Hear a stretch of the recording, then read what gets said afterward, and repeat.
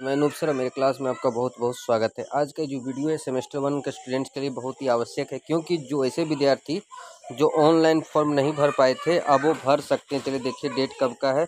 एक हज़ार रुपये फ़ाइन लगेगा और सेमेस्टर वन में वैसे परीक्षार्थी जो किसी कारणवश ऑनलाइन परीक्षा भरने में असफल रहे थे, उन छात्रों को एक हज़ार रुपये फ़ाइन के साथ विद्यालय में तीस तारीख, तीस मतलब क्या है, मई से लेकर एक जून तक आवेदन करने की अनुमति दी जाती है। ठीक है? उसके बाद हम लोग का क्या है? कि एडमिट कार्ड जो भी परीक्षार्थी फॉर्म भर दिए, उनका एडमिट कार्ड आप तीस पाँच से डाउनलोड कर सकते हैं। तो बहुत ही इंपॉर्टेंट न्यूज़ है आप लोग के लिए।